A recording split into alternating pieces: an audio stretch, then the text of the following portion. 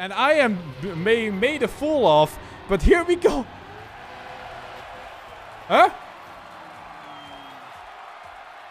Huh? Hello? Mudda with the fastest time, but Gwen wins. We did it. We did it. We broke the server. Mudda with the fastest time. And Gwen gets the point. New season, new format. Anything can happen.